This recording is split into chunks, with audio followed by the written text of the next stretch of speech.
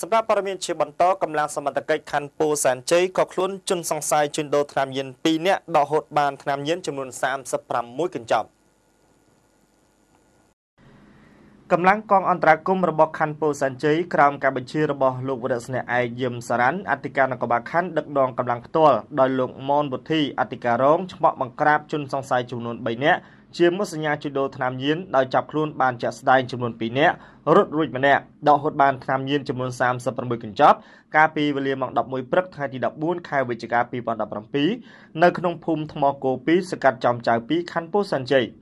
តាមនគរបាលបានដឹងថាកម្លាំងនគរបាលជំនាញកម្លាំងពាក់ព័ន្ធក្រោមការបញ្ជារបស់លោកអធិការនគរបាលខណ្ឌពោធិ៍សែនជ័យជំរុញធ្វើយ៉ាងណាឲ្យយកចិត្តដាក់បង្ការនិងបង្ក្រាបរាល់បទល្មើសដែលកើតមាននៅក្នុងភូមិសាស្ត្ររបស់ខ្លួនរក្សាបាននូវសន្តិសុខសុវត្ថិភាពជូនបងប្អូនប្រជាពលរដ្ឋទើបនៅវេលាខាងលើ កម្លាំងអន្តរាគមន៍ខណ្ឌចុះល្បាតនៅក្នុងមូលដ្ឋានត្រង់ចំណុចខាងលើក៏បានជួបប្រទះជនសង្ស័យកំពុងធ្វើសកម្មភាពចែកចាយថ្នាំញៀនជាក់ស្ដែងត្រូវបានបង្ក្រាបចាប់ខ្លួនបានជនសង្ស័យចំនួន2នាក់ដកហូតបានថ្នាំញៀនចំនួន13កញ្ចប់តូចចំណែកឯជនសង្ស័យម្នាក់ទៀតមិនស្គាល់ឈ្មោះបានរត់គេចខ្លួនបាត់រកឃើញតែថ្នាំញៀនចំនួន11កញ្ចប់ធំតែប៉ុណ្ណោះក្រៅពីកកខ្លួនជនសរសៃត្រូវបាននាំយកទៅសាកសួរផ្នែកជំនាញអធិការដ្ឋាននគរបាលខណ្ឌពោធិ៍សែនជ័យដើម្បីកសាងសំណុំរឿងចាត់ការបន្តនៅតាមនីតិវិធី។